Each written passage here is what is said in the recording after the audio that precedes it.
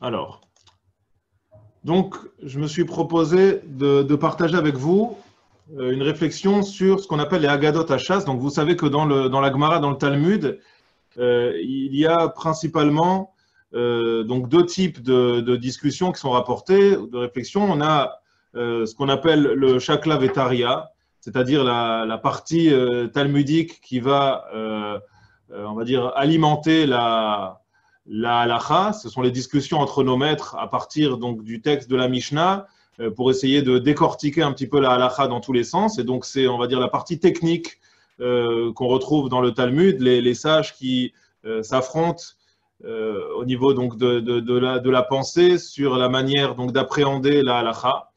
Et c'est, comme j'ai dit, donc, à la fois la partie technique et, et la partie qui est souvent considérée comme la partie la plus complexe du, du Talmud.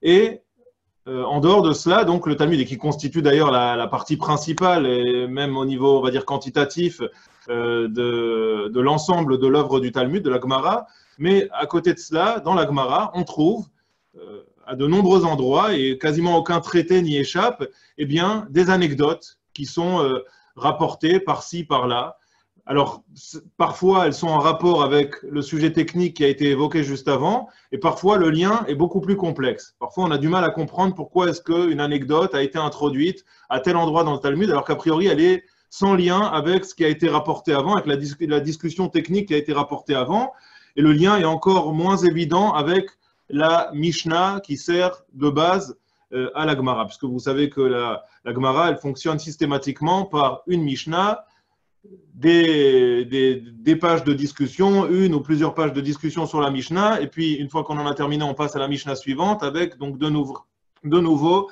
euh, des discussions. Donc la grande difficulté, elle est de comprendre pourquoi est-ce que ces différents passages ont été introduits euh, à tel endroit dans, dans, le Talmud. Alors, vous dis, parfois, on vient illustrer tout simplement une idée qui a été rapportée euh, juste avant. Parfois, il a suffi qu'on évoque le nom d'un sage pour apporter une anecdote à son sujet. Donc, ce n'est pas forcément un lien avec ce qui a été dit avant, mais puisqu'on a parlé d'un sage, eh bien, on va rapporter une histoire ou une anecdote qui le met en scène. Et parfois, ce lien est beaucoup plus complexe. En ce qui concerne les, commentaires de ces passages-là, ces passages-là de la Haggadah, eh bien, ils ont été dans un, premier temps, on va dire, un petit peu délaissé, c'est-à-dire que les, principaux commentaires de l'Agmara concernaient surtout la partie technique. Et les, commentateurs, ce qu'on appelle les Rishonim, c'est-à-dire les premiers commentateurs du Talmud à partir du Moyen Âge, de l'époque de Rachid, du début du Moyen Âge, eh bien, euh, se sont surtout penchés, se sont surtout intéressés à ce qu'on appelle le Shakla Vetaria, c'est-à-dire toutes ces discussions techniques entre les sages pour décortiquer la halacha la partie agadique, c'est-à-dire la partie plutôt euh, de ces, de ces anecdotes et de ces récits, elle a été un petit peu laissée de côté. Et le, un des premiers, on va dire, grands euh, commentateurs à s'être intéressé à ces commentaires, et c'est celui d'ailleurs qui a, qui a fourni le, commentaire le plus magistral, en tout cas, et le, le, plus célèbre jusqu'à aujourd'hui, et peut-être sans doute aussi un des plus percutants à ce sujet, c'est le Maharsha. Le Maharsha, qui est Rabbi Shmuel Edels, donc il y a un grand, euh, un grand commentateur du XVIe siècle euh, qui était quasiment, qui a vécu quasiment à la même époque que le Maharal de Prague, sur lequel je dirais un mot, parce que vous savez que le Maharal de Prague était également un grand penseur qui s'est aussi beaucoup intéressé au Agadot. Le, le Maharsha a vécu vraiment quasiment en même temps que le Maharal, un tout petit peu après, après lui. Il a écrit son commentaire un petit peu après le Maharal de Prague. Et quoi qu'il en soit, euh, le Maharshal, lui, s'est à la fois intéressé à la partie euh, conventionnelle classique du Talmud et à la fois au Haggadot. Euh, oui, c'est quoi? A priori, donc, les deux commentaires hein? ont, été écrits en parallèle et il y a en tout cas une dimension extraordinaire qui a été donnée aux, commentaires du Maharsha, puisqu'il ne s'est pas contenté simplement de nous traduire. Je ne sais pas, attendez, je vais couper, parce qu'il y a des interférences. Je ne sais pas qui n'a pas coupé. Essayez de couper votre micro pour ceux qui ne l'ont pas coupé, parce que je n'ai pas forcément la main sur tous les micros.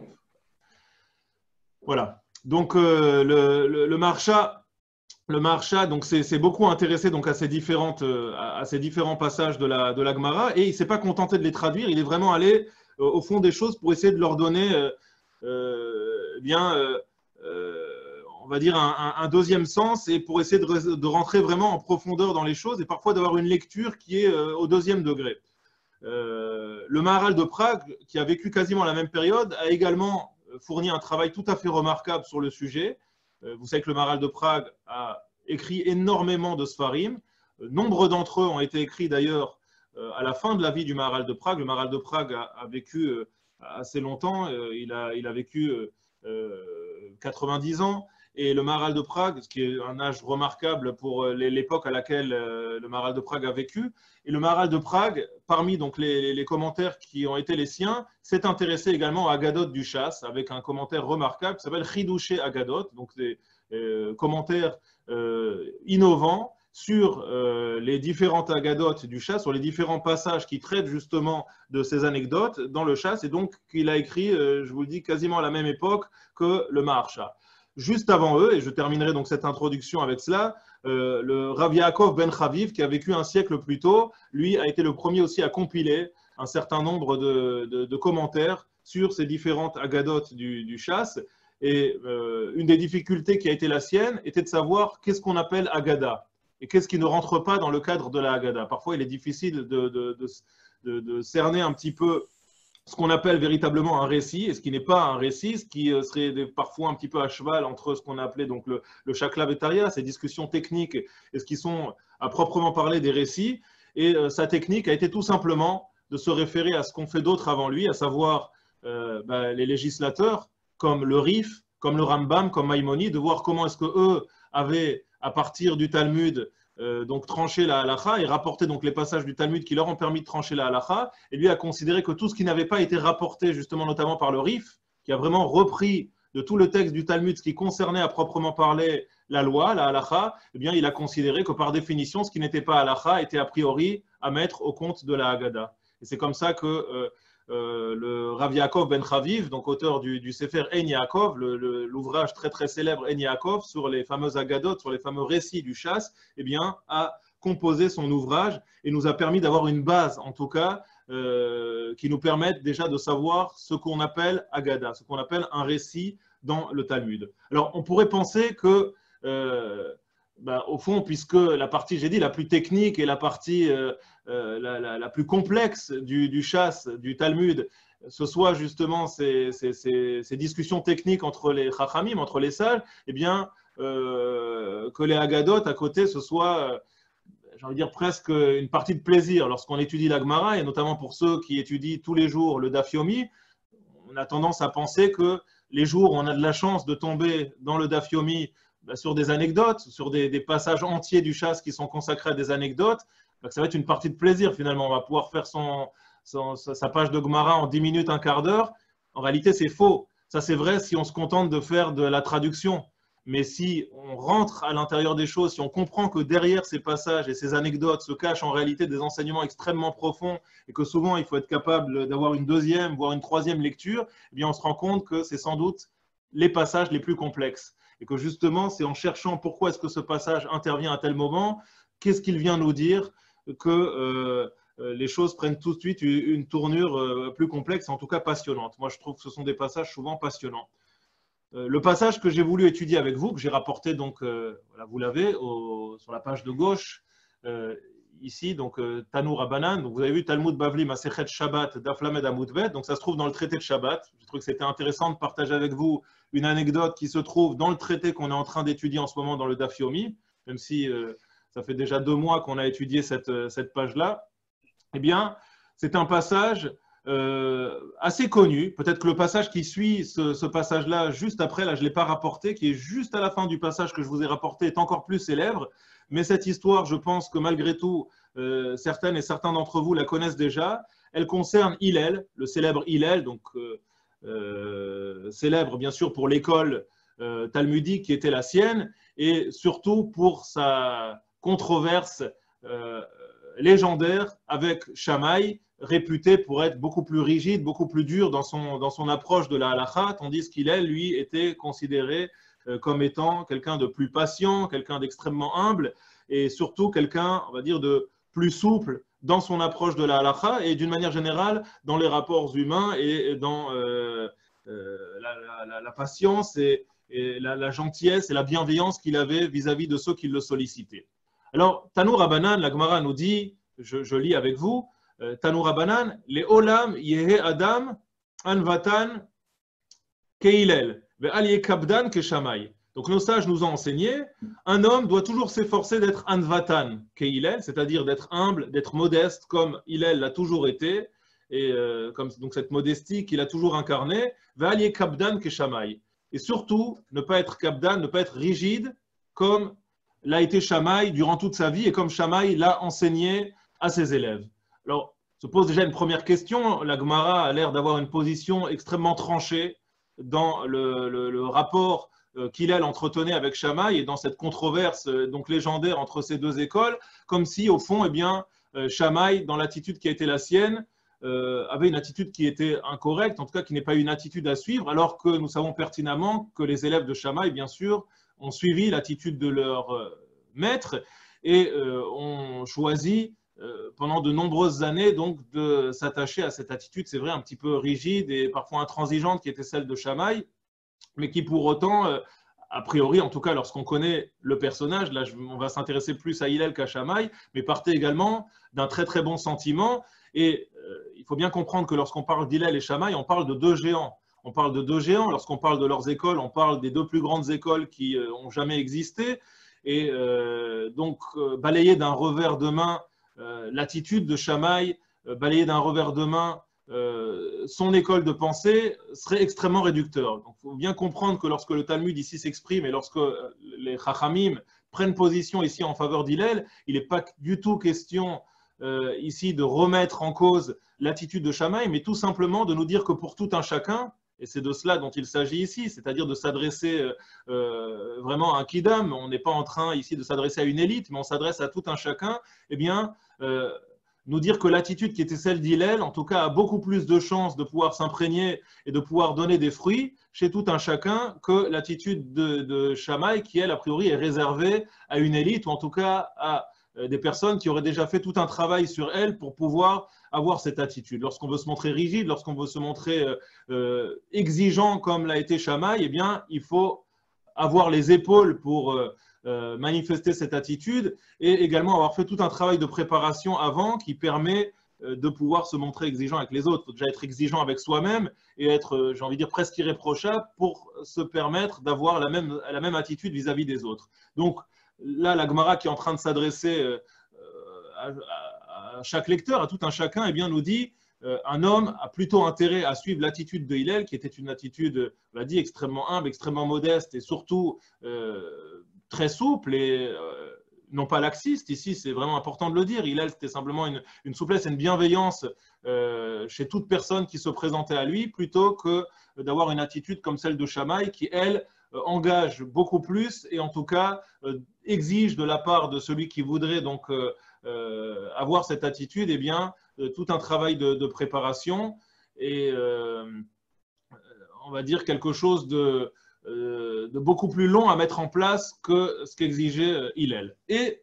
on en vient donc à ce qui nous intéresse, c'est-à-dire la manière dont la Gemara va illustrer ce qu'elle vient de dire. Donc là, on a l'exemple type, j'en parlais donc dans mon introduction, on a l'exemple type d'une agada, c'est-à-dire d'un récit, d'une anecdote du Talmud, qui est rapporté ici pour illustrer un propos qui vient d'être rapporté par la Gemara. Ce n'est pas toujours le cas. Je l'ai dit parfois, la Gemara introduit une histoire et on ne sait absolument pas pourquoi elle l'introduit. On a du mal à faire le lien avec ce qui a été dit avant. Là, les choses sont extrêmement claires. La Gemara rapporte un enseignement. Leolam yadam anvatan kilel kabdan keshamay. Et elle nous dit Maase bishne ben adam.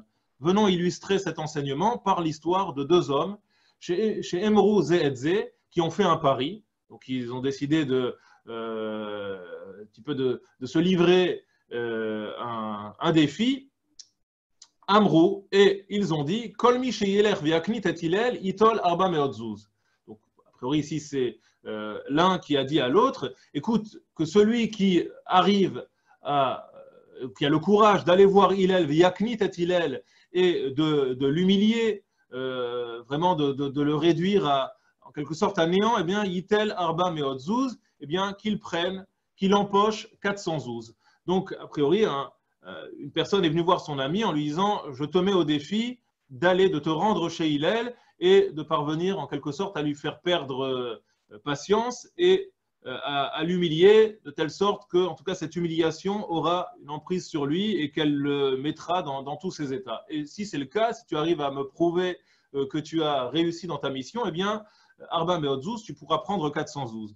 On va voir que ce que nous expliquent les, commentateurs, c'est que donc ils ont décidé de mettre dans un pot commun chacun 412 et qu'il était donc question que celui qui réussisse son pari eh bien, puisse récupérer sa mise et empocher celle de l'autre euh, ou bien au contraire, donc si euh, la personne qui celui des deux qui s'était engagé à aller voir Hillel, eh bien avait échoué dans son action, eh bien c'est celui qui l'a mis au défi qui empocherait cet argent. Alors Amar Echad Mehem, effectivement c'est ce qui s'est passé. L'un des deux a dit ben Ani Akniteno. Moi j'ai aucune difficulté à euh, humilier Hillel et à lui faire perdre patience. Je, sais déjà comment est-ce que je vais m'y prendre. Et la Gemara nous dit donc Oto Ayom Erev Shabbataya. Il a bien choisi son jour on va le voir tout de suite dans le commentaire du Maharsha et dans ce que nous disent donc les autres euh, Mefarshim, les autres commentateurs.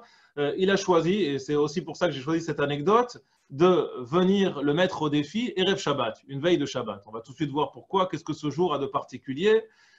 Erev Shabbat Aya, donc c'était un vendredi, Ve'ilel, Chafaf et chaud. Là aussi, la Gemara nous dit quelque chose de surprenant. Parfois, les anecdotes sont pleines de détails qui ont l'air totalement insignifiants et même superflus. Or, on sait que la Gemara euh, ne vient jamais rapporter de détails superflus, puisque euh, elle est donc, euh, comme vous le savez, elle, représente le corps de la Torah orale, cette Torah orale qui a été mise par écrit par Rabbi Yehuda Anassi, alors qu'il n'avait pas le choix et qu'il a choisi donc de euh, peser chaque mot. Et lorsque Ravashi a décidé euh, des années plus tard de compiler le Talmud, toutes les discussions qui tournaient autour de la Mishnah, eh bien, lui aussi a décidé d'être euh, extrêmement économe en mots parce qu'il savait que cet enseignement, au départ, était un enseignement oral qui n'avait pas vocation à être mis par écrit et que si déjà, eh bien, on décidait dans un cas de force majeure et par crainte que cet enseignement ne se perde, de le mettre par écrit, eh il fallait rester extrêmement concis et ne pas exagérer euh, dans la manière dont on allait retranscrire cet enseignement par écrit. Donc, même lorsqu'une agada, même lorsqu'une anecdote est rapportée par l'agmara, euh, tout porte à croire que chaque détail a son importance et qu'on ne rapporte pas des détails simplement par plaisir euh, d'illustrer l'histoire, de la rendre plus vivante. Donc, lorsqu'on nous dit ici que Hillel Khafa fait trop chaud, que littéralement Hillel était en train de se shampouiner et en train de prendre sa douche, c'est que dans cette histoire-là, ça a son importance et on va tout de suite voir pourquoi. Allah veut avoir al-Petach Beto. Donc cet homme-là a choisi de se rapprocher et de venir toquer à la porte d'Hillel. Amar, il s'est approché donc de euh, l'habitation d'Hillel et il a dit Mikan Hillel, Mikan Hillel. Est-ce qu'Hillel est ici? Est-ce qu'Hillel est ici? Nitatev Yatzalikrato. Donc je lis dans un premier temps, je lis une première fois cette histoire, je vous la traduis et on la reprendra donc euh, euh, mot par mot, étape par étape pour essayer de la comprendre. Nitata v'yatsa likrato, Hillel qui était en train de se, doucher, Nitata, donc il s'est recouvert, a priori c'est normal, il a mis son, son peignoir de bain, v'yatsa likrato, et il est sorti à la rencontre de cet homme qui l'interpellait. Amarlo, il lui a dit, Beni ma'ata mevakesh. Il lui dit, mon fils, donc, a priori là c'est, euh, ça fait tout de suite écho chez nous, Béni c'est un langage qui a l'air d'être un langage extrêmement tendre, extrêmement doux, mon fils c'est un langage d'affection, ma'ata mevakesh. En quoi puis-je t'aider? Qu'est-ce que tu demandes? Quelle est ta question? Amarlo, donc cet homme-là qui euh, euh, avait donc parié avec son ami de réussir à énerver Hillel, lui dit Sheila Yeshli Lishol, écoute, j'ai une, question à te poser. Amarlo, Hillel lui dit Sheal Benishal, je t'en prie, mon fils, pose ta question, pose-la. Mipnema Racheen Shel Bavliim Zgalgalot. Et donc voilà que euh, cet homme-là lui pose cette question extrêmement surprenante en lui disant Mipnema Racheen Shel Bavlim Sgalgalot. Pourquoi est-ce que les têtes des Babyloniens sont Sgalgalot Alors, nous avons deux commentaires. Je vous ai rapporté le commentaire de Rachi juste en bas. Euh, pourquoi est-ce que les têtes des Babyloniens sont Sgalgalot Elles sont euh, Sgalgalot, nous dit Rachi. alors, Bilona Belaaz, Bilti Agol. La première explication de Rashi, c'est nous dire Bilti Agol chez Eno Agol, c'est-à-dire que euh, Sgalgal ici euh, voudrait dire oblong. Pourquoi est-ce que les têtes des Babyloniens sont allongées? Pourquoi elles ont, cette forme euh, oblongue si particulière? Mais Rashi se contredit juste après, il nous propose une deuxième version Lishna Harina, Roshan Shel Bavliim, Sgalgal Agol. Au contraire, le mot Sgalgal ici, d'après Rashi, serait issu du mot agol qui voudrait dire ronde. Donc il y a ici une contradiction dans les deux versions que propose Rashi, et cette contradiction, c'est ce que vont rapporter un certain nombre de Mefarshim, elle n'est pas anodine. Ici, au contraire, elle était volontaire dans la bouche de celui qui pose la question, qui montre que dans le terme qu'il emploie ici, eh bien, euh, il essaye un petit peu de semer euh, le trouble et de, d'apporter une certaine forme de flou dans la question qu'il pose à Hillel, ici de le déstabiliser en lui disant, tu as remarqué que chez les Babyloniens, certains ont la tête ronde, certains ont la tête plus allongée, et donc euh, apporte-moi euh, une réponse, s'il te plaît, à cette interrogation qui est la mienne. Sans doute que sa volonté euh, était, si jamais Hillel lui répondait par rapport à l'une des, deux, des deux explications, c'est-à-dire ou ronde ou oblongue, eh bien, il aurait pu réagir en l'attaquant justement sur la deuxième explication. S'il lui avait dit bah, Je vais t'expliquer pourquoi la tête est ronde, il aurait pu lui dire bah, Tu ne m'as pas expliqué pourquoi est-ce que chez certains elle est oblongue. Ou l'inverse, si on lui avait expliqué pourquoi est-ce qu'elle a cette forme oblongue, il aurait dit Mais tu ne m'as pas expliqué pourquoi chez d'autres elle est ronde. Donc, cette, cette double explication de Rachi, contradictoire, a priori, euh, vient montrer à quel point cet homme qui essayait ici de déstabiliser Hillel était loin d'être un imbécile. C'était euh, sans doute quelqu'un de mal intentionné, euh, quelqu'un qui était rempli de, de mauvaises midotes, mais qui pour autant était loin d'être un imbécile et qui avait parfaitement préparé son coup. Mais je vais y revenir. Ça, c'était simplement pour vous montrer la contradiction qui existe dans ce terme de sgalgalot. Amarlo, on reviendra bien sûr sur ce passage. Amarlo, Hillel lui répond Béni, il lui dit Mon fils, chez Dola Sha'alta.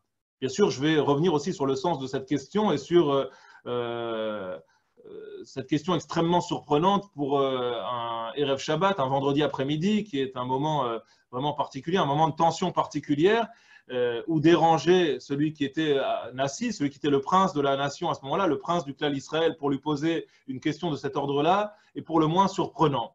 Mais Hillel ne semble pas déstabilisé par la question et lui dit Béni, chez Dola Shalta. Écoute, mon fils, tu, viens de poser une grande question, une question même extraordinaire.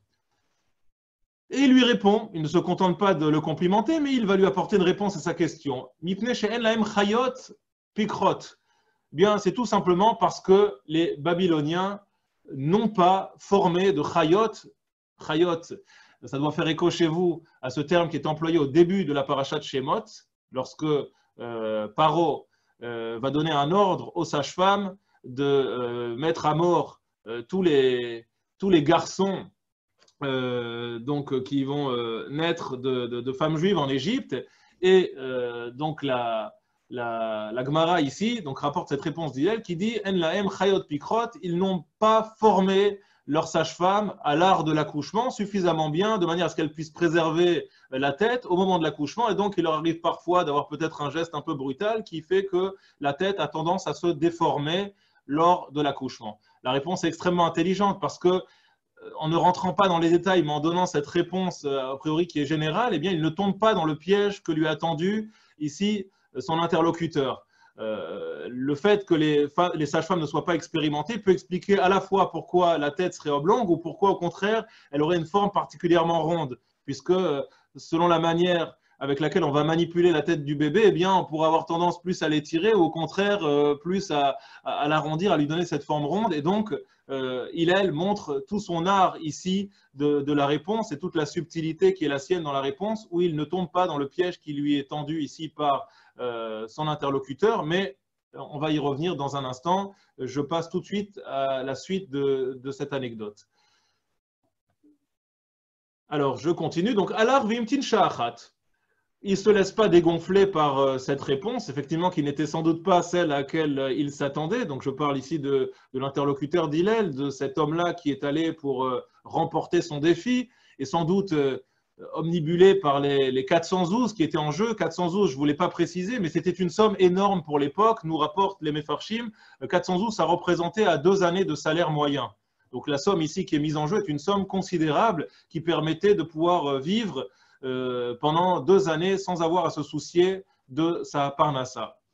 Donc euh, il ne se laisse pas dégonfler et nous dit l'Agmara, Alar Veimtin Sha'achat. Il est sorti, et il a attendu une heure, peut-être le temps de réfléchir à une nouvelle question, euh, le temps également de laisser Hillel bah, reprendre ses activités, parce que s'il avait posé une deuxième question, ça aurait peut-être pas eu le même effet sur les nerfs et sur la colère d'Hillel, donc il décide de le laisser tranquille pendant une heure, et puis Khazar Vehamar, une heure après, il revient et il toque à la porte. Donc vous imaginez, on est toujours vendredi après-midi, Shabbat se, se rapproche, et il repose la même, la même question. Mikan Hillel, Mikan Hillel. Donc là aussi, ça doit nous surprendre, mais il l'a interpellé déjà avant. La première fois, il a demandé euh, est-ce bien Hillel qui habite ici? Est-ce bien Hillel Et il repose la même question. Donc là, on voit bien que dans la démarche, il y a euh, quelque chose à la fois de, volontaire, mais euh, surtout ici, une, envie de pousser Hillel à bout. Et on, va, on va voir ce que nous en dit Rachi et ce que nous en dit le Maharsha vraiment une volonté de déstabiliser euh, totalement Hillel. Nitata Krato, a priori Hillel reste totalement impassible, il est de nouveau sous la douche, puisque Nitataf, à nouveau nous dit l'Agmara, il va remettre son peignoir, il va se couvrir, et Krato, il sort de nouveau à la rencontre euh, de cet homme dont il a sans doute reconnu la voix, donc il sort en toute connaissance de cause, et il lui dit, Amarlo ma mevakesh, je t'en prie, quelle est ta question? À Marlo, il lui dit, Sheila Yeshli exactement la même discussion euh, que précédemment. Sheila Yeshli j'ai une question à te poser. À Marlo, il lui dit, Sheal Benishial, je t'en prie, mon fils, pose ta question, pose-la, n'aie pas honte. Mipnema Eneen Shel Tarmudain Trutot. Pourquoi est-ce que les yeux des Tarmudaïn, donc il s'agit ici euh, d'une autre tribu, pourquoi est-ce que les yeux de la tribu des Tarmudaïn, Trutot, pourquoi est-ce que ces yeux, alors si on suit le commentaire de Rachi, ici Rakot, Rakot nous dit qu'ils ont les yeux abîmés. Euh, d'autres commentateurs vont nous dire que euh, Troutot ici fait référence à des yeux ronds, des yeux qui seraient particulièrement des orbites qui seraient particulièrement réduites, petites. il lui dit en tout cas un regard qui n'est pas spécialement attirant, charmant, et né les Rakot. Rappelez-vous que Rakot, ici les yeux, Rakot, ça fait aussi écho dans notre esprit euh, à ce que rapporte la Torah à propos de Léa lorsque Yaakov euh, donc, va rencontrer euh, Rachel et que par la suite donc, on, nous rapporte,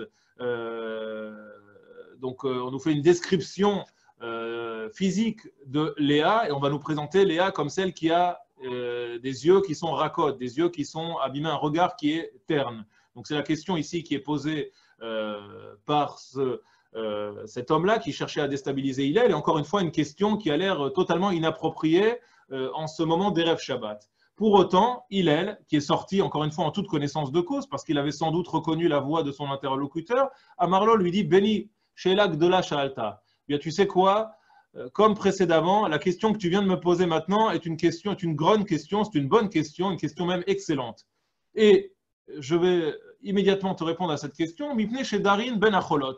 Eh bien, c'est tout simplement parce que Darin ben Acholot, ce peuple-là vit ben Acholot euh, dans des régions qui sont euh, des régions euh, sableuses, des régions dans lesquelles les tempêtes donc, de sable sont extrêmement fréquentes. Et nous dit Rashi, regardez, donc je prends, c'est sur la page de droite, le commentaire de Rashi, chez Darim ben Acholot, la première ligne de la, page de droite, Varuach noshevet venichnas betoch c'est une région extrêmement sableuse, c'est une région dans laquelle il y a souvent des tempêtes de sable, et donc, Bemakom, Acher Mefaresh, donc Trutot Lachon Agulot Ben Moshav, Beit Moshav Shelaen, Ve'avkan Ani Omerken, Mipne Shedarim Ben Acholot, Shina Otam Amakom, Shelo Ye'e Sedek Sheleneem, Aroch, Keshelanu Ve'ikanes Bo Achol peu importe qu'on estime que les yeux sont abîmés, que le langage troutot euh, donc fasse référence au fait que les yeux soient abîmés ou qu'il fasse référence au fait que les yeux soient plus petits, l'explication est la même.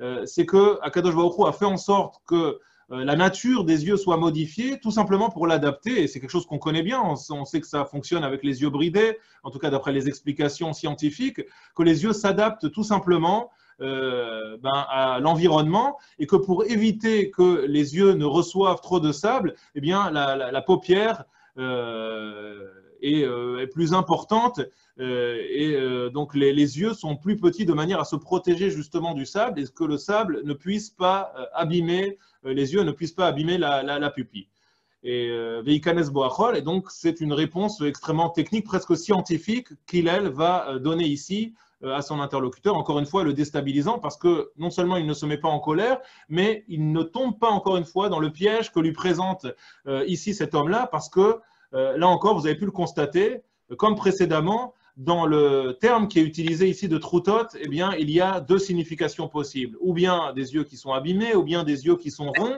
Et il, elle, choisit de ne pas donner une réponse qui va plus d'après une explication que d'après une autre, mais de donner une réponse généraliste qui, comme Rachi euh, le fait remarquer, eh bien, correspond parfaitement aux deux significations. Donc, on voit la grandeur de Hillel, son intelligence et sa capacité à éviter les pièges qu'on lui tend. Continue l'Agmara en nous disant, euh, donc je reprends euh, le texte. Euh, voilà, Alar Vimtin Sha'achat, donc comme précédemment, Alar, il s'en est allé, Vimtin Sha'achat. Et à nouveau, il décide d'attendre une heure, donc peut-être, de le laisser encore une fois fermenter, de, le laisser bah, retourner à sa douche, à ses préparatifs de Shabbat, pour pouvoir eh bien peut-être l'énerver un peu plus lorsqu'il déciderait de revenir euh, à l'attaque une troisième fois. Et c'est effectivement ce qui se passe. Razar Vehamar, au bout d'une heure, eh bien, il décide de revenir euh, à la charge. Vehamar, il lui dit Mikan Hillel. Encore une fois, comme les deux fois précédentes, Mikan Hillel. Est-ce bien ici qu'habite Hillel? Est-ce bien ici qu'habite Hillel?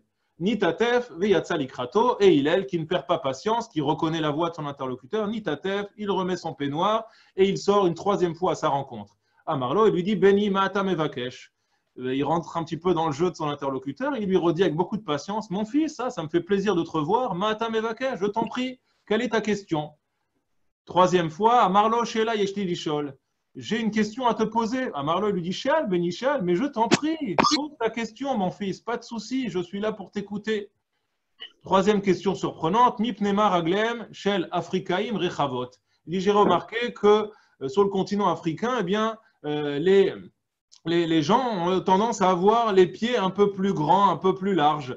Il dit à Marlo, Beni, Gdola Shalta, il lui a dit effectivement, ta question, encore une fois, une question euh, euh, vraiment pertinente, une question pleine de bon sens. Mipne Darin Ben Bitse Amaim. Mais encore une fois, je te répondrai d'une manière très technique. La, la grandeur d'Akadosh est d'avoir permis à chaque homme, en fonction de l'endroit et de l'environnement dans lequel il habite, de pouvoir s'adapter, de pouvoir faire en sorte que le corps s'adapte à l'environnement. On sait que la couleur de la peau s'adapte également à l'environnement. Il y a plein de choses qui sont liées à l'environnement et qui sont des moyens de protéger l'homme par rapport euh, à cet environnement dans lequel il évolue. Eh bien, Mipne chez Darin va Ben Maïm, puisque euh, il y a des endroits là-bas particulièrement euh, marécageux, eh bien, euh, on a fait en sorte que euh, la, morphologie du corps puisse s'adapter à ces endroits-là, chez Maïm, et que les pieds ne, s'enfoncent pas justement dans ces marécages. Euh, alors Rashi rapporte une autre explication encore, chez Darin ben Maïm ve'olchin yechefin, pashtin ragleen, les fiches dochek regel ou ma'amido al shelo. Il dit que euh, beaucoup de, tribus avaient l'habitude de marcher également sans chaussures, que les chaussures pouvaient éventuellement être un frein au développement du pied, et donc euh, euh, des, tribus ou des nations qui avaient l'habitude de marcher, de ne pas du tout utiliser de chaussures, eh bien, voyaient leurs pieds se, développer. On voit, on sait qu'il y avait des tribus également qui avaient l'habitude de, pour avoir un cou long aussi, notamment donc des tribus d'Asie qui avaient l'habitude de mettre des euh, des espèces de, colliers euh, donc autour du cou et de manière à, agrandir un petit peu, à étirer euh, la peau. Donc effectivement, la peau, on sait qu'elle a cette capacité à s'élargir. Donc là, je ne sais pas si scientifiquement ça tient la route, mais en tout cas, quoi qu'il en soit, il est donc vient à nouveau apporter une réponse technique et une réponse qui va déstabiliser par sa patience et par sa pertinence notre ami. Pourtant, on va voir qu'il ne se dégonfle pas et après, donc les trois refus et les trois euh, on va dire pas, non pas refus, mais au contraire, les trois réponses extrêmement pertinentes et euh, la patience dont a fait preuve Hillel, eh bien, il décide, euh, on va dire, de, donner le, coup final, en tout cas de tenter le, tout pour le coup, tout. Rappelons qu'il y a quand même 412 en jeu, donc une somme extrêmement importante, mais rappelons aussi que dans le pari, ben, chacun a mis 412 dans le pot commun. Donc lui, il comprend bien ici que si malheureusement il perd son pari, bah, ce n'est pas simplement les 412 de son copain qu'il ne va pas empocher, mais il va perdre aussi euh, deux années de salaire qu'il va devoir payer de sa poche parce qu'il a dû les sortir. Et bah, c'était le principe du pari, c'était que bah, celui qui perd euh, de sa poche donc ces, 412 à contribution. Et euh, donc il tente le, tout pour le tout et nous dit donc l'Agmara, et donc cette anecdote se termine avec ce passage. Euh, il lui dit donc, euh, attendez, tac, tac. Euh, voilà, il lui dit, à Marlo, il lui a dit. Donc là, il n'attend plus. Il voit que, après avoir donc tenté à trois reprises de déstabiliser Hillel sans succès, bien, n'a plus aucun intérêt à, attendre une heure, il peut directement enchaîner avec la question suivante. Il lui dit Tu sais quoi? En réalité, j'ai plein de questions à te poser. Mais je n'ose pas te les poser parce que j'ai peur que tu te mettes en colère. Nitatev Yashav Lefanav, il s'est finalement euh, enveloppé de son talit, il s'est assis à côté de lui et Amarlo, il lui dit Kol Tu sais, ça ne me fait pas peur. Tu peux me poser toutes les questions que tu souhaites me poser. Au fond, il n'y a pas vraiment de questions idiotes. Et euh, ce qu'il est aussi en train de lui expliquer, c'est qu'au fond, il n'arrivera pas vraiment à le mettre en colère, que quelle que soit la question qu'il lui pose, eh bien, il est déjà préparé à ces questions et qu'il ne parviendra pas à le mettre en colère. Alors, Amarlo, il décide euh, vraiment de tenter le tout pour le tout et de poser cette dernière question un petit peu insolente en lui disant Ata ou Hillel, chez Corinne, notre Nassi Israël, c'est bien toi, le fameux Hillel euh, qu'on appelle Nassi Israël, le prince d'Israël Alors Hillel lui dit à Marlo elle, il lui dit oui, en tout cas, bon, il, paraît que effectivement euh, c'est moi. À Marlo, il lui dit Imata ou Lo Irbu Kamotra Israël. Eh bien, si c'est vraiment toi, Lo Irbu Israël. Vraiment, j'espère et je souhaite de tout cœur que Lo Irbu Israël. Euh, que euh, ces Hillel ne se multiplient pas en Israël, que des Hillel comme toi ne se multiplient pas en Israël. À Marlo, Hillel lui dit Béni, Mipnema. Il lui dit Écoute, je veux bien à la rigueur que tu ne reconnaisses pas forcément en moi euh, les qualités qui sont celles d'un prince, que peut-être tu as identifié autour de toi des personnes qui seraient plus aptes, euh, plus aptes que moi à, jouer ce rôle, à tenir ce rôle. Mais pour autant, Mipnema, pourquoi euh, autant d'acharnement sur moi et en quoi, en tout cas, qu'est-ce que tu as vu de mal dans le comportement qui est le mien ou dans la manière dont je mène ma mission pour souhaiter que il n'y ait pas plus d'Hillel comme moi qui puisse euh, se, se, développer et voir le jour au sein du clan Israël. Et il lui répond à Marlo bah, C'est très simple, tout simplement parce qu'à cause de toi, je viens de perdre 400 zouz. À Marlo, il lui dit Il lui dit Je t'en prie, fais attention à ce que tu dis et, d'une certaine manière, calme-toi, prends un peu de distance par rapport aux choses. Kedai ou Hillel, Tovad Aliado Arba Au contraire, tu devrais te réjouir d'avoir perdu 412 grâce ou à cause d'Hillel. Verba. Et même si tu avais perdu 412 supplémentaires, Hillel lo yakpid, eh bien, Hillel ne s'est à aucun moment mis en colère contre toi. Donc, tu devrais au contraire te réjouir d'avoir tenté d'énerver Hillel et d'avoir euh, de ne pas avoir réussi ta mission d'avoir fait face à quelqu'un qui, à aucun moment, ne s'est mis en colère contre toi, à aucun moment n'est sorti de ses gonds, ne t'a pas maudit, euh, ne s'est pas emporté contre toi. Au contraire, a tenu des propos extrêmement respectueux et sans doute, eh bien, t'a amené à une réflexion qui est censée te permettre, à partir de maintenant, eh bien, d'appréhender les choses et la vie sous un regard nouveau. Donc, il ici, on va le voir tout de suite, sans se mettre en avant, bien au contraire, va faire comprendre à son interlocuteur que la discussion et l'échange qu'ils viennent d'avoir est un échange qui va peut-être lui permettre de changer totalement le cours de sa vie et que s'il sait prendre les choses par le bon bout et observer les choses par le bon côté, eh bien, euh, cette discussion, cet échange n'est pas la perte de 412, mais bien au contraire une opportunité tout à fait extraordinaire de pouvoir euh, appréhender une vie nouvelle. Alors, je Pardon, Harold, excuse-moi, il y a le micro de Mike qui est ouvert et il y a beaucoup de bruit. Je vais, je, vais, je, vais, je, vais, je vais demander de nouveau à tout le monde d'éteindre d'éteindre son. de se mettre en muet. Voilà, hop. Voilà, impeccable. Donc, euh, voilà, donc je, je, reprends maintenant donc, euh, avec l'explication du Maharsha, si vous le voulez bien, parce que le Maharsha, euh, dont je vous ai parlé au, début de cette, de cette intervention, va nous proposer, alors peut-être juste avant le Maharsha, euh, vous dire un mot général. On reprendra juste après le marcha que je vous ai rapporté donc, sur la page de droite et qui va avoir, vous allez voir, euh, un, regard extrêmement intéressant sur, euh, sur cette anecdote qui est rapportée ici, sur cet échange entre cet homme-là mal intentionné et Hillel. une analyse vraiment d'une grande profondeur et très surprenante. Juste avant, quand même, vous dire un mot de ce que nous disent les autres Mefarshim. Je vais essayer de vous faire un, vraiment un résumé de ce que disent les autres Mefarshim par rapport euh, déjà à l'attitude qui est celle d'Hillel lorsque euh, cet homme-là vient le voir. Donc, déjà le contexte. On a dit ça se passe Erev Shabbat. Erev Shabbat, effectivement, c'est un moment tout à fait particulier, puisque, et c'est un moment qui n'est pas choisi au hasard euh, par cet homme-là, puisqu'il sait que c'est un moment où, par définition, eh bien, on a mille choses à faire. Un homme comme Hillel qui était extrêmement occupé, qui devait répondre à, à des dizaines, voire des centaines de questions d'Alacha, qui devait sans doute aussi s'occuper des courses et des préparatifs de Shabbat, eh bien, était particulièrement sous tension. Euh, la veille de Shabbat et que s'il y, a bien un, y a bien un moment où on a des chances de, pouvoir euh, faire perdre patience à quelqu'un, ce sont ces heures avant Shabbat où euh, le stress justement de tout ce qui reste à accomplir et, le peu de temps que l'on a généralement pour pouvoir essayer de, tout caser en ce laps de temps eh bien, est de nature à faire perdre patience à quelqu'un.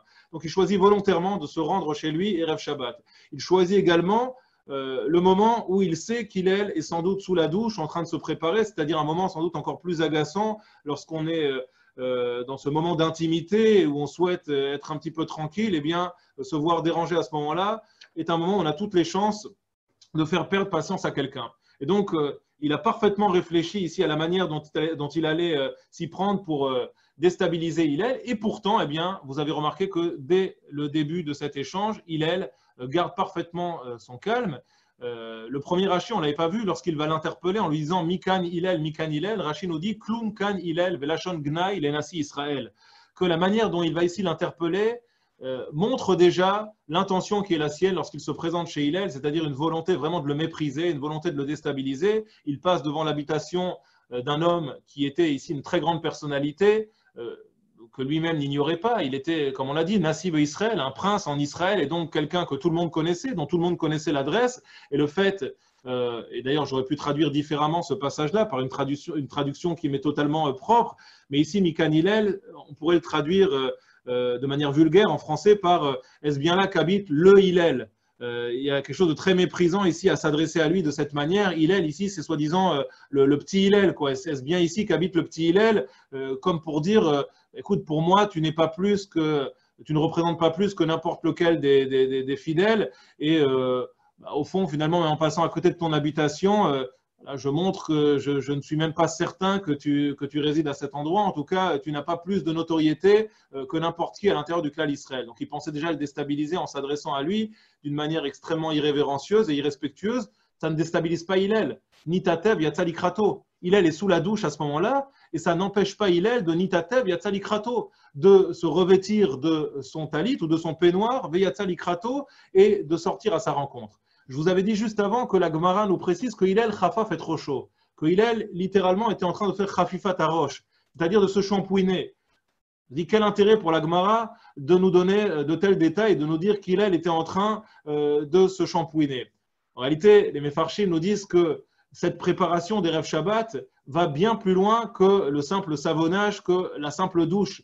Ici, Chafa fait trop chaud. D'ailleurs, vous remarquez, on ne nous dit pas que Rochet cette goufo, qu'il était en train de se laver le corps. On insiste sur Chafa fait trop chaud, qu'il était en train de se shampouiner la tête, de se masser la tête. Comme pour nous dire qu'au-delà ici de la dimension physique, du fait qu'il se laver les cheveux, il était surtout en train de se masser la tête, c'est-à-dire de se vider la tête. La préparation des rêves Shabbat chez un homme de la trempe d'Hillel considérait bien sûr non seulement à se laver physiquement, mais également à essayer de sortir de sa tête tous les problèmes qui l'occupaient quotidiennement dans le rôle, tous ces problèmes qu'il ne voulait pas euh, introduire dans le cadre du Shabbat, qui était un moment de rupture, un moment durant lequel il souhaitait véritablement se retrouver avec lui-même, se retrouver avec sa famille et pouvoir parfaitement donc euh, euh, s'intégrer dans l'esprit du Shabbat. Et c'est la raison pour laquelle euh, cette anecdote, elle dure trois heures, puisque vous voyez que lorsque donc notre homme n'arrive pas à ses fins, il attend à chaque fois une heure pour reposer sa question, et il est encore dans la douche. Alors, j'imagine pas la facture d'eau, parce que trois heures sous la douche en train de se shampouiner et de, de rester sous le jet d'eau, ça commence quand même à faire beaucoup. Et de la part d'un homme comme Hillel, qui avait sans doute beaucoup à faire, bah, rester trois heures sous la douche, ça peut sembler être une perte de temps euh, euh, sans nom. Et pourtant, eh bien, euh, la Gemara n'a pas honte de, nous dire qu'au bout de trois heures, Hillel est toujours sous la douche et toujours en train de se shampouiner. En réalité, ce qu'il faut comprendre ici, c'est que la préparation de Shabbat, chez une personne de la dimension d'Hillel qui cherchait à faire ça d'une manière extrêmement méticuleuse et surtout, comme je vous l'ai dit, à se vider la tête de toute considération profane, eh bien, c'est quelque chose qui prenait beaucoup de temps.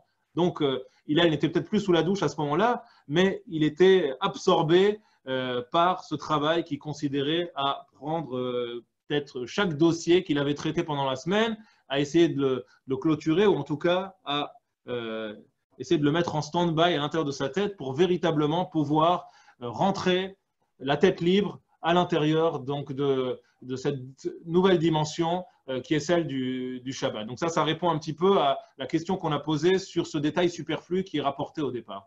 Je vous ai dit que euh, la manière dont euh, Hillel va s'adresser à cet homme-là, malgré la violence et le mépris avec lequel il s'adresse à lui, en lui disant Mikan Hillel, Mikan Hillel, est très surprenante. Hillel lui dit Béni, Maatam Evakesh, mon fils. Donc Hillel ne rentre pas dans son jeu. Il lui dit Béni, mon fils tu peux m'appeler comme tu veux, tu peux m'appeler le Hillel, moi ça ne me dérange pas, je me suis jamais pris au sérieux de toute façon. Donc je t'en prie mon fils, Matam et Vakesh, et tu ne me déranges pas. Sache que même si tu interviens, même si tu arrives euh, en plein Erev Shabbat, au moment où je suis en train de me préparer, eh bien, j'ai du temps à te consacrer, et si tu as une question, eh bien, tu ne dois pas hésiter à la poser. Un homme ne peut pas rester avec une question qui risquerait euh, au contraire de le faire basculer dans quelque chose d'extrêmement euh, grave. Et il, ici, peut-être nous fait passer une leçon, c'est que oui, il y a parfois euh, des vies ou des destins qui peuvent basculer en, un instant. Et que si une personne reste avec une question, peut-être cinq minutes ou dix minutes de plus, et qu'elle n'a pas reçu l'attention ou la bienveillance qu'elle cherchait lorsqu'elle est venue s'adresser à la personne qui lui semblait être la bonne pour pouvoir répondre à ses interrogations, eh bien, on va peut-être casser quelque chose à ce moment-là euh, qu'on ne pourra plus rattraper par la suite. Donc Hillel a cette attitude qui est à la fois une attitude de modestie, mais surtout une attitude extrêmement humaine et euh, dire une manière de communiquer avec les autres qui est érigée par la Gemara en exemple parce qu'il Hillel est quelqu'un qui comprend l'urgence du moment. Donc euh, euh, a peut-être cette attitude, on va dire, un petit peu plus rigide, et on le verra, enfin on le verra pas aujourd'hui, mais euh, par la suite, il y a la fameuse anecdote où le, prosélyte va voir Hillel et Shamaï pour demander de se convertir, il va se faire envoyer balader par, par Shamaï. Euh, n'est peut-être pas dans l'urgence du moment, il a plus l'attitude qui est rapportée par Shlomo, qui dit écoute, ne perds pas ton temps avec les imbéciles ou avec ceux qui cherchent à te faire perdre ton temps. non pas qu'Hillel ait du temps à perdre, mais Hillel a tout simplement l'attitude euh, de celui qui comprend que parfois, eh bien, on peut euh, sauver euh, la vie d'une personne, on transformer son existence, tout simplement en lui accordant quelques minutes d'attention et en lui montrant que nous sommes à l'écoute de sa détresse. Une deuxième explication possible, c'est qu'il, elle, et ça, ça serait, elle me plaît bien aussi parce qu'elle rentre tout à fait dans la personnalité qui est celle d'Hillel, c'est qu'il est dans la modestie qui est la sienne, il est dans la bienveillance qui est la sienne et qui n'est pas de la naïveté. N'est pas de la naïveté, euh, Hillel n'est pas crédule, loin de là, mais euh, on va dire que sa bienveillance et sa capacité à être Dan et Koladam, les caves à juger tout homme euh, systématiquement, donc d'une manière euh, extrêmement bienveillante, fait que lorsque cet homme-là se présente à lui et va avoir cette question, qui a priori une question euh, totalement déplacée, que sans doute chacune et chacun d'entre nous aurions immédiatement interprété comme une insulte ou en tout cas comme une volonté de s'en prendre à nous ou de, en tout cas de nous déstabiliser, eh bien, il, lui, ne voit aucune arrière-pensée dans la question qui lui est présentée. C'est-à-dire que Hillel, en réalité, s'il répond avec autant de gentillesse, autant de bienveillance à la question qui lui est posée, c'est tout simplement parce qu'il ne décèle pas l'ironie qui se cache derrière la question de son interlocuteur. Il va en percevoir au contraire toute l'intelligence et toute la pertinence, mais surtout pas l'ironie. Donc ça, c'est une deuxième manière de, d'expliquer pourquoi est-ce que Hillel va garder cette patience, tout simplement parce que Hillel, lui, ne cherche qu'à retenir le bon de la question et à déceler la pertinence qui se cache dans, dans chaque question, et sûrement pas euh, donc l'ironie qui se cache au travers de la question, ou bien, peut-être d'une manière encore un peu plus subtile, euh, pour euh, aller plus loin dans ce commentaire, ben, il a compris qu'il a affaire à quelqu'un de dérangé, mais pas dérangé dans le sens péjoratif du terme, tout simplement quelqu'un qui est en proie à ce moment-là à des difficultés, quelqu'un qui est en, proie à ce moment-là à un tournant dans sa vie qui euh, bah, lui fait se poser un certain nombre d'interrogations et que Hillel se dit, bah, lorsqu'on a une personne qui est dans une détresse psychologique et qui peut-être qu'au travers de ces questions, qui sont des questions effectivement provocatrices, eh bien, il cherche à me faire part de son malaise. Cet homme-là qui cherche à m'exprimer un malaise derrière les questions qu'il est en train de me poser ici, qui sont effectivement des questions provocatrices, qui sont des questions qui sont posées peut-être d'une manière irrévérencieuse, mais cette personne-là ne fait pas autre chose ici que m'exprimer son malaise. Et si elle m'exprime son malaise, eh bien, je me dois de répondre à son malaise par des réponses qui peut-être ne lui donneront pas entière satisfaction, mais en tout cas l'amèneront déjà à une réflexion, l'amèneront peut-être à euh, eh bien avoir un regard neuf sur euh, euh, les questions que cette personne-là se, posait jusqu'à présent. Et ça, c'est mon rôle. C'est mon rôle d'amener cette personne à, réfléchir, à appréhender les choses d'une manière un petit peu différente. Alors, j'accélère, je vais, je vais un peu plus vite, mais donc pour comprendre l'attitude qui est celle d'Hillel. Alors, regardez rapidement, je veux quand même prendre le marcha parce que je vois le, temps passer et je voulais vous montrer ce que dit le marcha.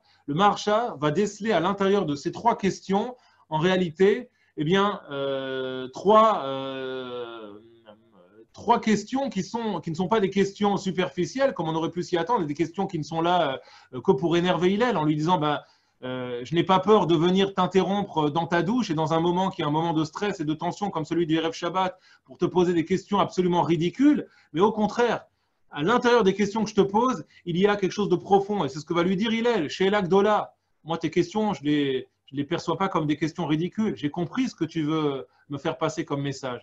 Dans tes trois questions, tu fais référence en réalité aux trois midotes, aux trois mauvaises midotes, aux trois mauvais traits de caractère qui sont rapportés par la Mishnah dans Avot et qui sont celles de Bilam et de ses élèves. Et tu vas me demander pourquoi est-ce que les trois tribus que tu as citées, les trois nations que tu as citées, eh bien, comment elles en sont arrivées, chacune de ces trois nations, à intégrer ces mauvaises midotes. Quel est le secret? Peut-être que toi, tu seras capable de m'expliquer pourquoi est-ce que ces nations ont fini euh, à terme par sombrer dans l'une de ces trois midotes qui, euh, eh bien, au fond, en tout cas, c'est ce que pense sans doute la personne qui vient poser la question, les ont peut-être empêchés de, vivre leur vie correctement et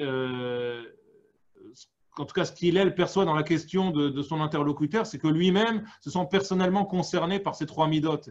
Et euh, le malaise qu'il vient exprimer, c'est tout simplement au travers donc, de la question qu'il pose indirectement sur trois nations, c'est peut-être que tu peux m'expliquer pourquoi est-ce que moi j'en suis arrivé là dans ma vie, pourquoi est-ce que je suis aujourd'hui quelqu'un d'aussi aigri, pourquoi est-ce que j'ai l'outrecuidance aujourd'hui de me présenter devant toi qui euh, est au fond un homme que je respecte énormément et dont j'apprécie la grandeur, et que si j'ai aujourd'hui donc cette route pas de venir me présenter devant toi pour te poser ces trois questions, c'est que je suis passé à côté de ma vie et que euh, euh, j'ai malheureusement aujourd'hui en moi ces trois traits de caractère bah, qui m'empêchent qui de vivre ma vie correctement et je cherche des réponses à ces, à ces questions.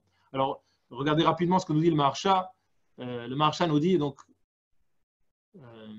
voilà, je prends le, donc le, dernier paragraphe du Marshal ici, à Marley Beniché. Donc il lui a dit, donc Beniché là, tu as posé une bonne question, et il lui répond à sa question. Donc Yeshela Beze, Kevan de Zo, Lav Bedivre Torah Avia, Rak Bemile de Alma.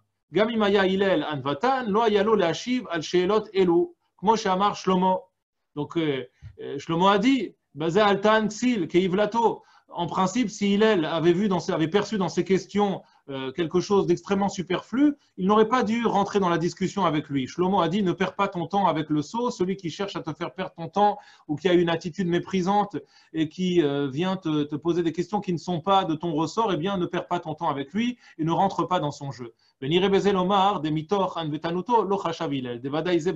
Donc, le Marcha propose donc la première réponse que je vous ai rapportée tout à l'heure, de dire qu'il, en réalité, dans sa modestie, n'a pas perçu l'ironie euh, de cet homme-là qui venait euh, essayer de le déstabiliser.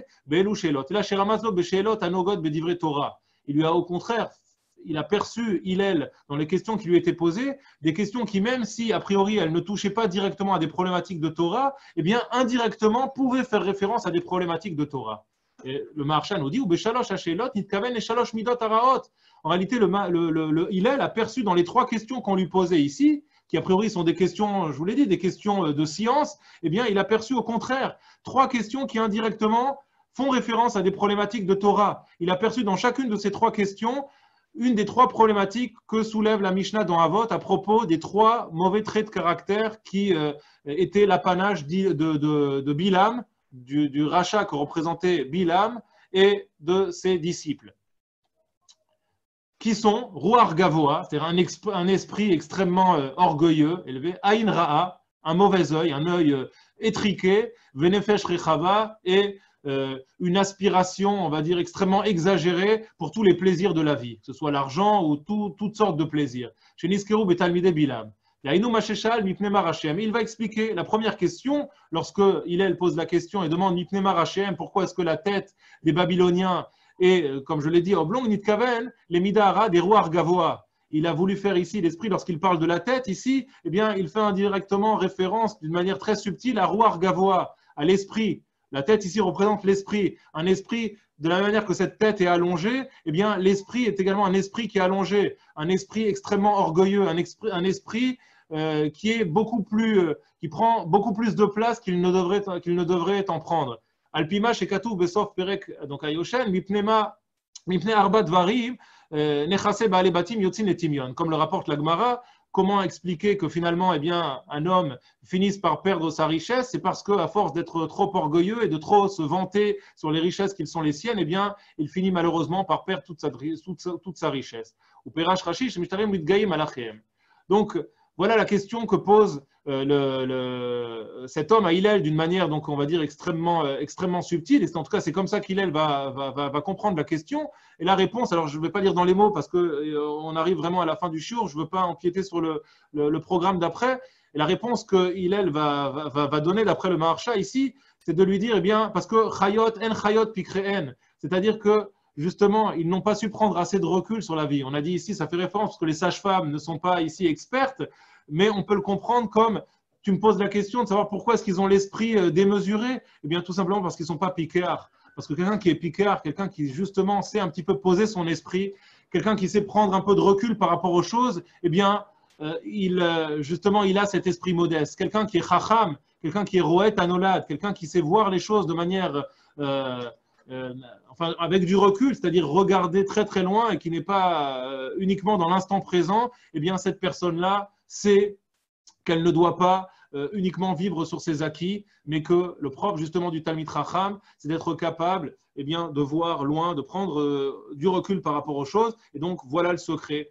Toi-même, tu te demandes peut-être pourquoi tu n'arrives pas à sortir de, cet orgueil qui est le tien. Prends un peu de recul par rapport aux choses. Sois capable de comprendre que la vie, elle ne se vit pas uniquement par rapport à l'instant présent, mais euh, que le chacham, c'est non seulement celui qui sait s'inspirer du passé, celui qui sait bien sûr vivre le présent, mais celui aussi qui sait anticiper et qui sait regarder très très loin.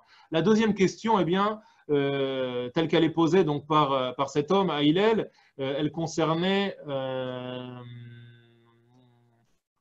deuxième, voilà, je la reprends dans les mots. Euh, les yeux. Les yeux, voilà, merci, merci. Elle concernait les yeux. Donc il a demandé pourquoi est-ce que les yeux sont ronds, pourquoi est-ce que les yeux sont ternes.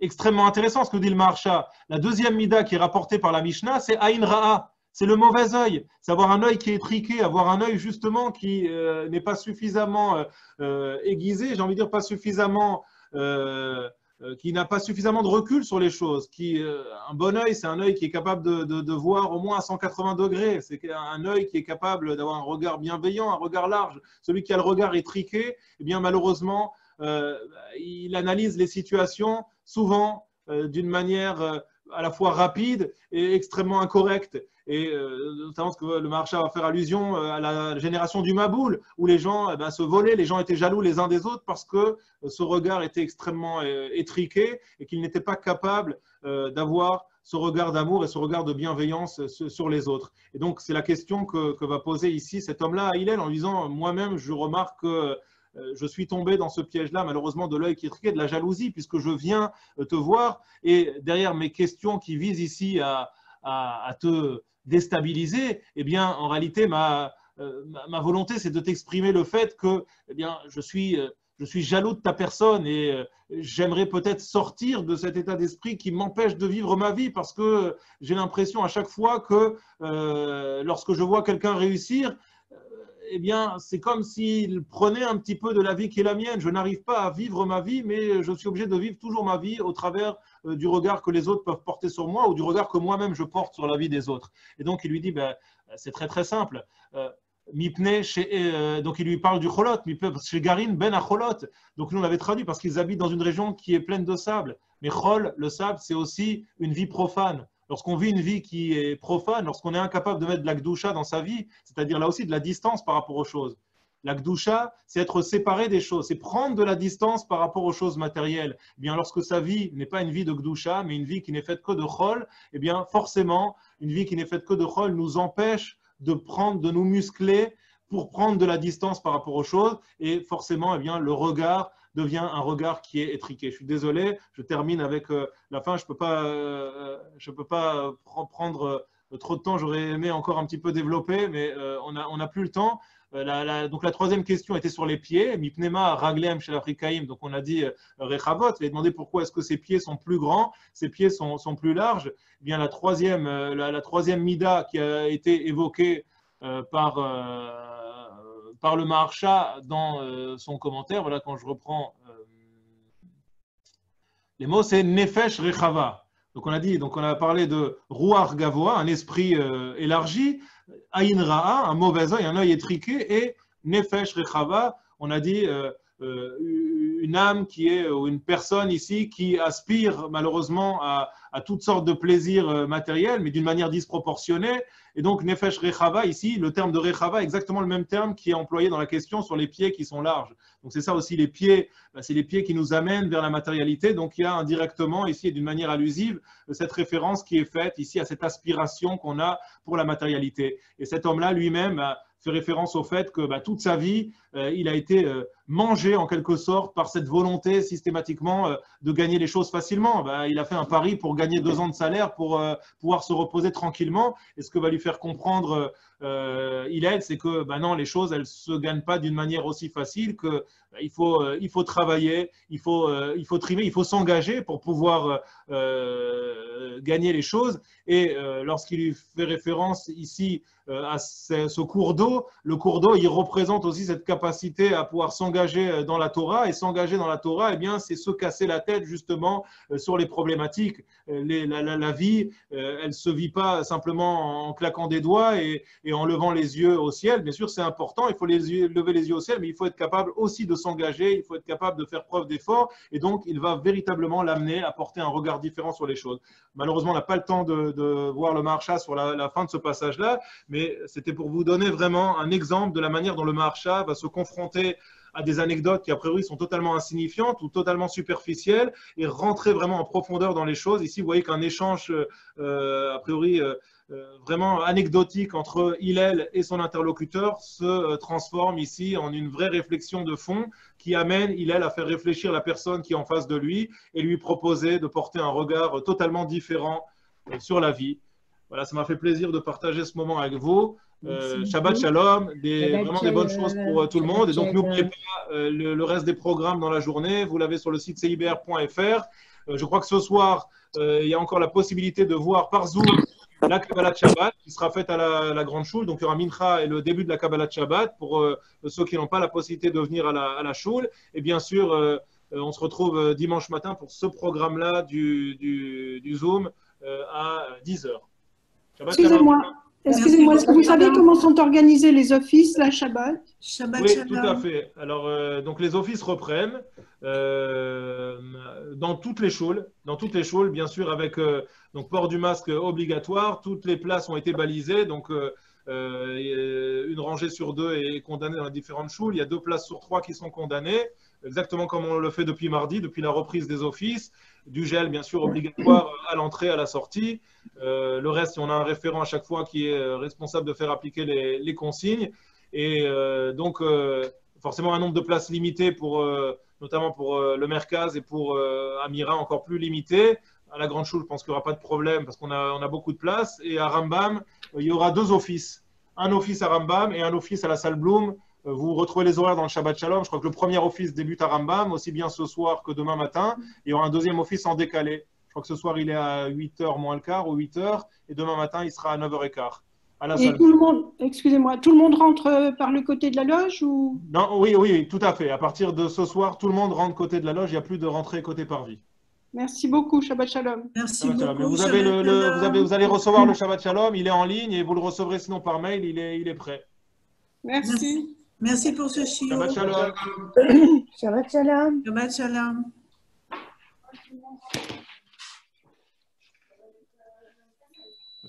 Un truc là. Hop. arrêter. Hmm? On sort.